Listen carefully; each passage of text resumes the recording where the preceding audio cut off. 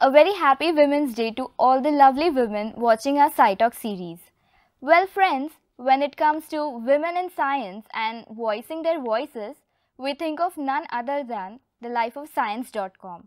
And today we have caught in our camera one such life who is constantly lab hopping and fantastically adventuring in science. Let's welcome none other than Aashima Dogra. Hi Aashima. Hi. Welcome to SciTalk. I think this is not a SciTalk but She Talk or a SciCom Talk. So, and a very happy Women's Day to you. Uh, how can we as women support other women?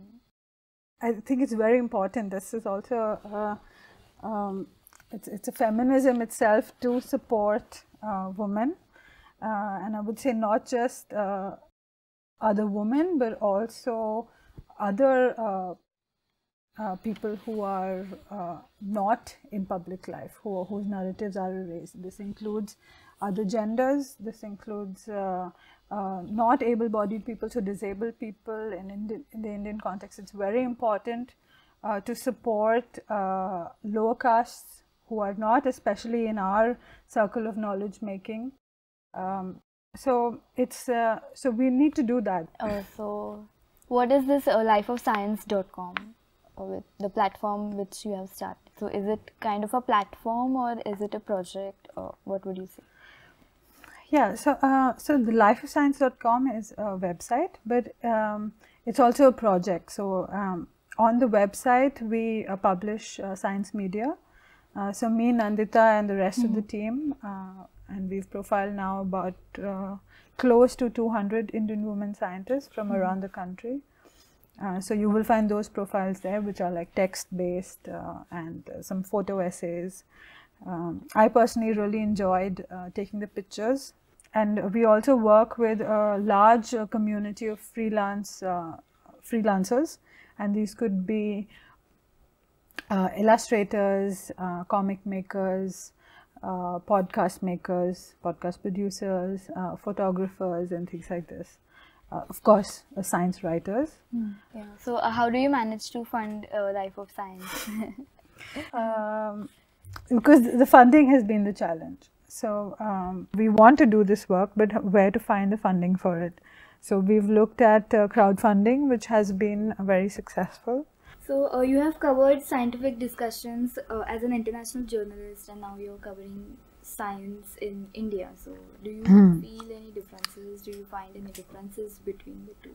So the only thing I would say here is um, uh, there used to be uh, a lot more press conferences, and in India, maybe that's also changed because it's also across time. Maybe there's no uh, press conferences even abroad in the West where I was working. I have heard that the Life of Science has the policy of hiring only women. So, is that true, or what would you like to say about it? No, it is not true. It is not true. Um, I don't know where you heard this. Maybe somebody is thinking this because a lot of the uh, people um, that have worked with us have been women. Uh, but we have had one uh, uh, coordinator who identifies as a man. Uh, so I don't think we have uh, this policy. And also, we don't do hires uh, specifically. Um, and because it's uh, a, a group where we try to uh, make uh, uh, funds available for everybody by these methods that I told you. Uh, what do you do when you're not lab hopping? Um, what do I do? uh, I try to. Um, I like my work a lot, so I'm often on the screen. Uh, so when I realize, okay, that I need to stop, then I uh, switch off all the screens and go out for a walk. and I'm also very interested uh, these days in natural building. Uh, so I'm learning how to uh, build with natural materials like bamboo and mud. So building structures. Uh, and uh, I'm also uh, trying to develop uh, green fingers. I don't have them yet. So, uh, women in science or women in STEM. So, these Yeah. terms have gained popularity over the last few years. So, Yes. and uh, what do you think about it? Where does India stand today when it comes to women in science or women in STEM?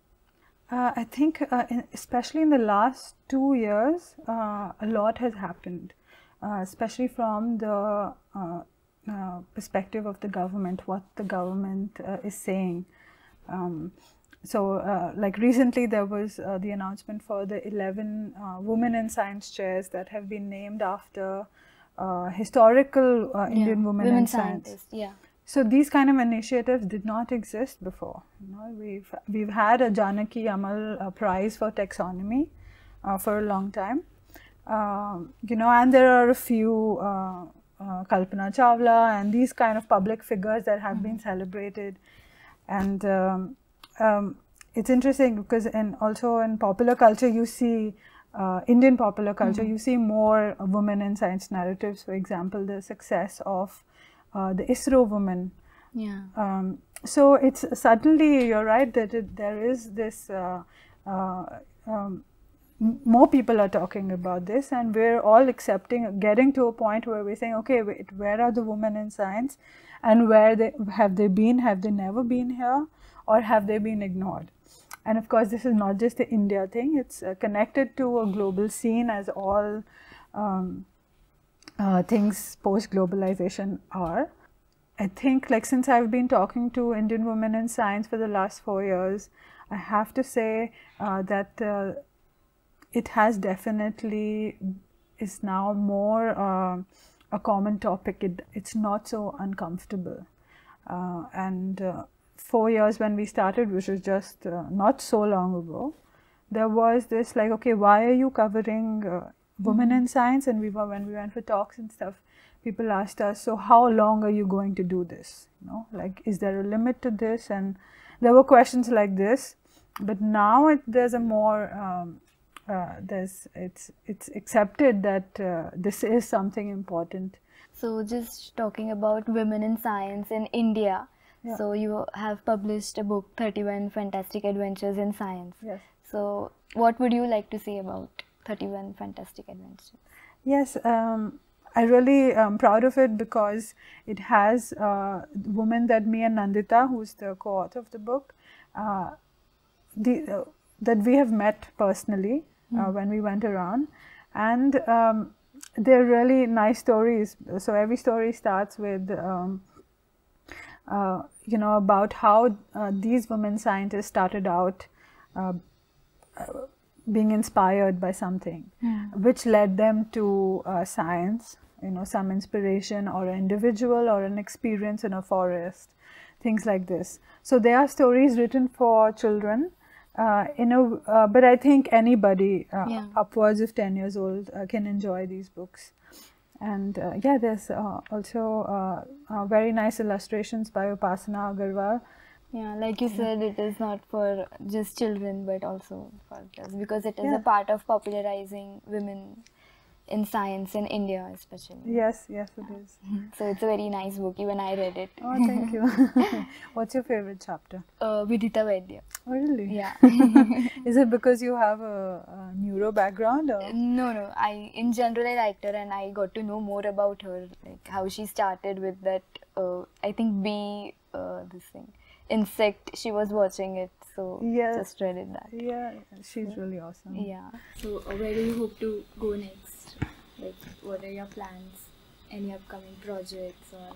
Yeah so uh, the uh, there's a second book uh, that me and nandita are writing which is not for children. It's not illustrated so it's a, a book written for a general audience. Mm -hmm. and it's a it's a reportage about um, the last four years of lab hopping what we have seen it is a, a investigation into the gender gap, why it exists, and what are people saying about it.